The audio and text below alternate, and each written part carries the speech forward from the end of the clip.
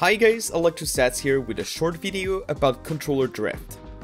A lot of people that I coach have this problem where the maps automatically scroll when pointing at them, or they can't go to some settings in Saber Tailor. This is due to the controller drift, and there is a very easy way to fix that.